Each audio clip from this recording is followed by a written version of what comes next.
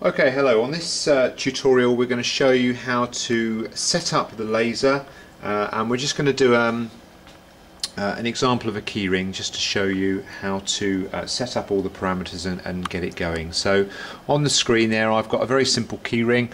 Uh, if I just zoom in on that so that you can see. Okay, I've got the Mr. Waite in blue, that's going to be engraved because the um, the laser cutter will recognize different colors and will do different uh, procedures based upon the color uh, that it recognizes. So I've got a red line around there which is going to be a score and I've got a black line around the edge which is going to be a cut. So the first thing I'm going to do is to set our paper up to the same size as the laser bed. So it's again it's set up drawing layout and this time we're going to go to the third option down which says ILS3 which is the driver for the laser cutter. So I'm going to click on that and press OK. And now we've got the A2 bed here which is uh, the bed of the laser cutter. So I'm going to select my keyring and I'm going to drag it to the top. Okay so now we're, we're ready to go. So we're going to go over to the laser now um, I'm going to turn on the laser now because it takes about 40 seconds for the tube to warm up. So while that's warming up I'm going to do all the other things that I need to do. So I'm going to turn that on. It's making a bit of noise so I hope you can still hear me. Um, I'm going to make this keyring out of a piece of uh, fluorescent acrylic. It doesn't look translucent at the moment because I've got the backing cover on. I'm just going to leave that on for the moment. But when you focus your piece of acrylic it's best to always use an opaque piece of acrylic.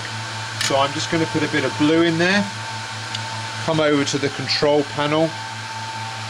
This is the main menu system. I'm going to go down to system setup press enter.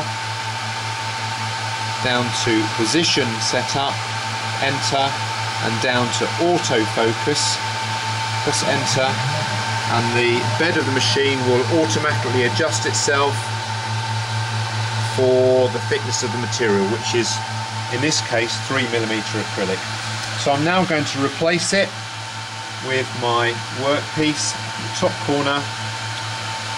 Bring the lid down carefully. Okay back over to the computer. I'm going to go to file and this time it's print because as far as the computer is concerned the laser cutter is just another type of printer. Uh, we're going to go to properties.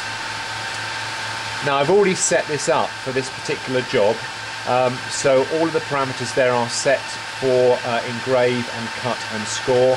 If I click on the job tab I want to turn on uh, the blue there for engrave and for the cut I'm going to go for black and red press OK. Press OK once more. Now you're not going to be able to hear this on the video but if you listen carefully when you're using the machine you'll hear three beeps one beep and then two beeps.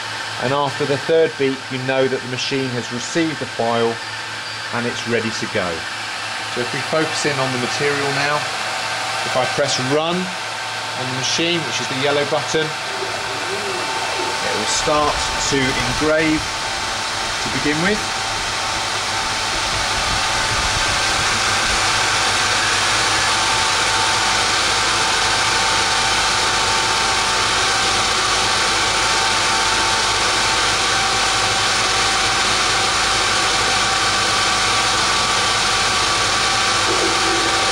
It's now going round and it's doing a cut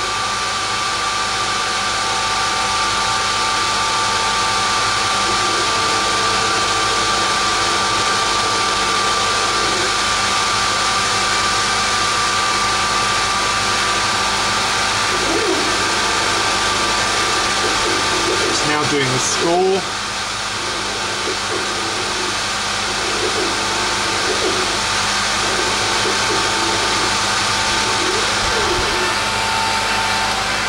Okay, turning the uh, machine off. Lift the lid. Now it's not hot, you can take it out straight away.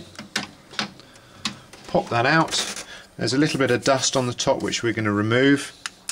Take out the uh, the hole for the keyring I'm taking off the, the backing sheet there. Okay and there's my uh, fluorescent keyring I'm just going to get my ring and uh, where we find out whether we've got nails or not. Uh, open that up. Okay and there's our finished keyring okay that ends this tutorial